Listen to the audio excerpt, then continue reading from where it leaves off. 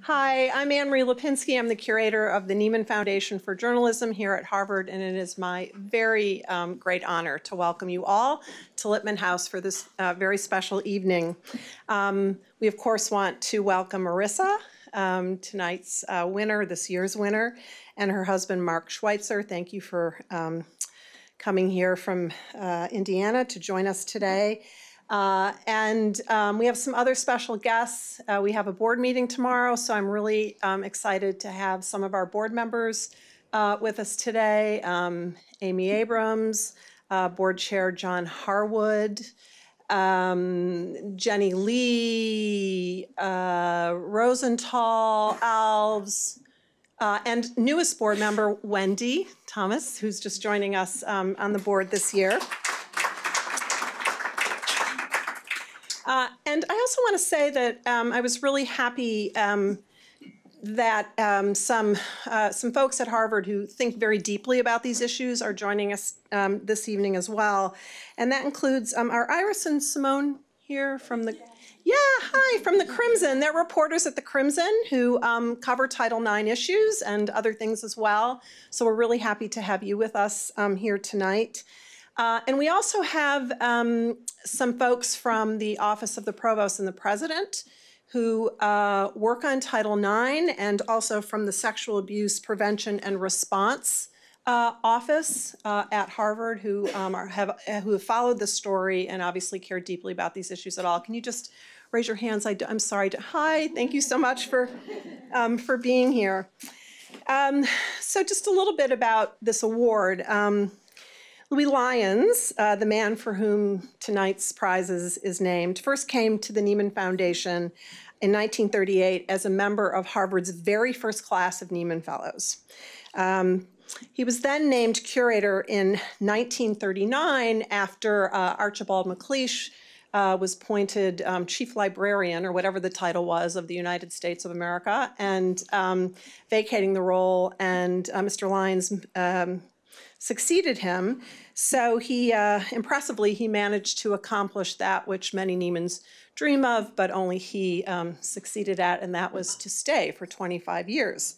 Um, he ushered in a lot of important changes uh, in his time in this role. Can you imagine a Nieman Fellowship without women, um, without international journalists, or one limited um, just purely to newspaper reporters? Uh, neither could Lyons who paved the way for the richness of experience and skill represented um, in today's Nieman classes. And while those developments may seem obvious from where we sit today, they were not always uh, thus. Lyons admitted Nieman's first women fellows in 1945, which was 18 years before Harvard degrees were first awarded to Radcliffe women.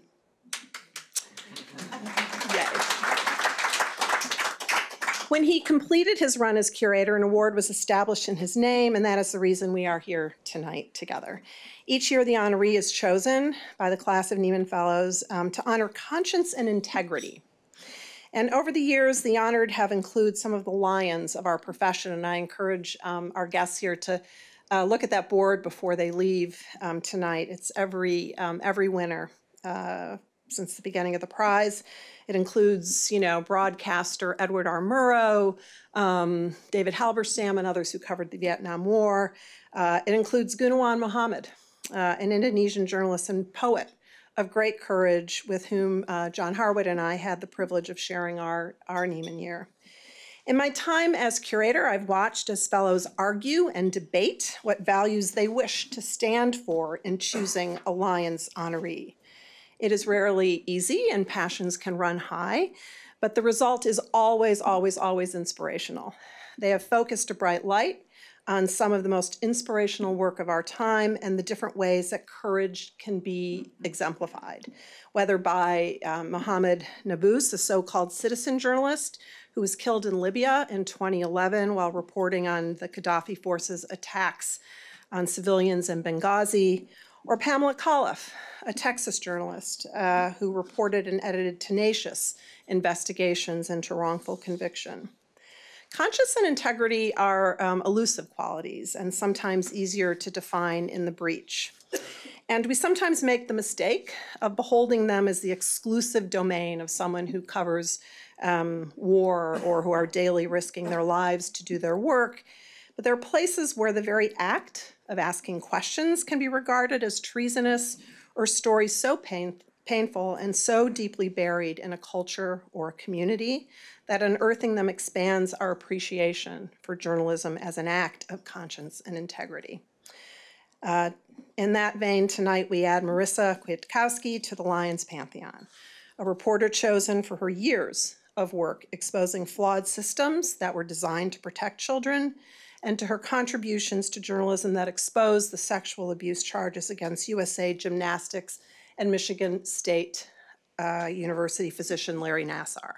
As a result of the work that she and her colleagues did at the Indianapolis Star, hundreds of women came forward with allegations of sexual abuse against Nassar. And this was, um, they were in the vanguard. This was really before, you know, hashtag Me Too was, um, was a, a, a national phenomenon.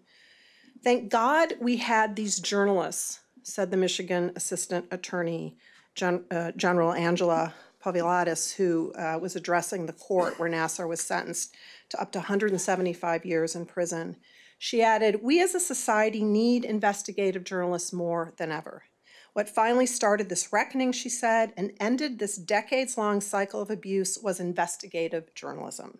Without that first Indianapolis Star story in August of 2016, without the story where Rachel, who was one of the victims, came forward publicly shortly thereafter, he would still be practicing medicine, treating athletes, and abusing kids.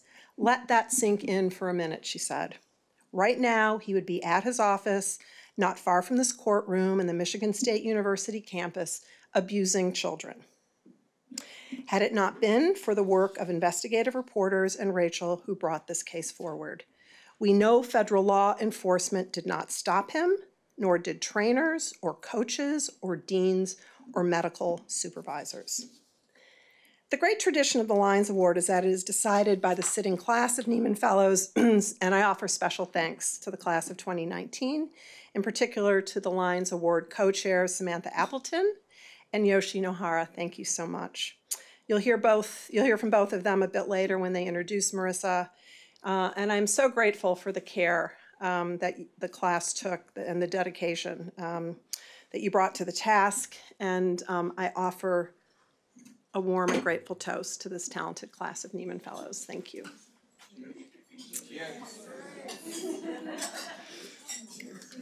All of you, of course, uphold the values that we honor here tonight. Please enjoy your dinner. and a bit, we'll hear from Sam and Yoshi as they introduce tonight's program. Um, again, welcome. We're all so glad that you're here. Thank you.